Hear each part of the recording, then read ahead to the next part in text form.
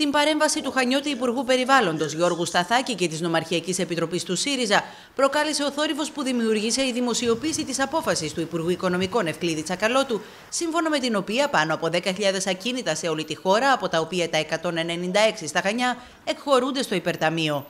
Πολύ φασαρία για το τίποτα, σχολίασε ο Γιώργος Σταθάκης, ενώ η νομαρχιακή οργάνωση του κόμματος διευκρινίζει ότι δεν συμπεριλαμβάνονται στη μεταβίβαση ακίνητα όπως τα νεόρια, το φρούριο Φυρκά στο Αρχαιολογικό Μουσείο Χανίων, η πύλη της Άμμου, η Ανατολική και η Δυτική Τάφρος. Ρητά και κατηγορηματικά εξαιρούνται μία σειρά ακινήτων. Αυτά είναι η Αιγιαλή, τα δασικά, οι αρχαιολογικοί χώροι, ε, οι περιοχές Natura κλπ. Όχι μόνο αυτό, άρα κανένα κτίριο από αυτά που αναφέρουμε στα Χανιά δεν έχει φόβο ε, εκπόληση, ε, πώλησης ή οποιαδήποτε άλλη ε, κατάσταση.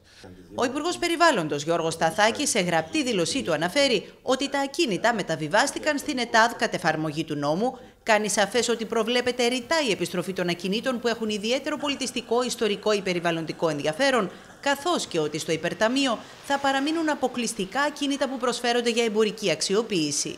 Προκαλεί κατάπληξη ότι κάποιοι προσπάθησαν να δημιουργήσουν εντυπώσεις ακόμα και σε μια τόσο απλή και σαφή γραφειοκρατική διαδικασία.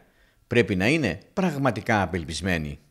Την ίδια στιγμή, η Νομαρχιακή Επιτροπή του ΣΥΡΙΖΑ κάνει λόγο για τακτικές που μηχανεύονται οι κύριοι της Νέας Δημοκρατίας στα Χανιά, ακολουθώντας τη γραμμή του άκρα του λαϊκισμού. Ο σκοπός της εταιρείας ακινήτων του δημοσίου είναι η εξυπηρέτηση του δημοσίου συμφέροντος.